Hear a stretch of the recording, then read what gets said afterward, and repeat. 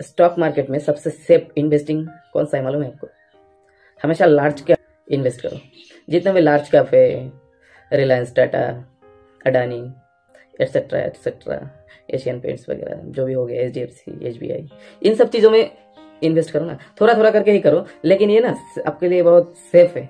मैं in stock का नाम बता के कुछ, ऐसा नहीं कि स्टॉक का प्रमोशन कर रहा हूँ कुछ, ऐसा कुछ बात नहीं है। मुझे अच्छा लगता है इन सब स्टॉक इन सब स्टॉक्स में मेरा थोड़ा थोड़ा करके शेयर पड़ा हुआ है। मुझे अच्छा लगता है, हमेशा ग्रो करता है, इसलिए मैं आपको बोलता हूँ। और ये बहुत सेफ़ भी है। जितना भी लार्ज कैप है ना लार्ज कैप का बात में कर रहा हूँ, किसी भी पर्टिकुलर स्टॉक का बात नहीं कर रहा हूँ। जितना भी लार्ज कैप स्टॉक्स है ना उनमें इन्वेस्टिंग का मज़ा ही कुछ अलग है। वो आपको थोड़ा बहुत नुकसान तो देता है टेम्पोररी टाइम के लिए, पर लॉन्ग टाइम में वो हमेशा प्रॉफिट में ही रन करता है। और उसमें प्रॉफिट बुक करना भी बहुत मज़ेदार होता है।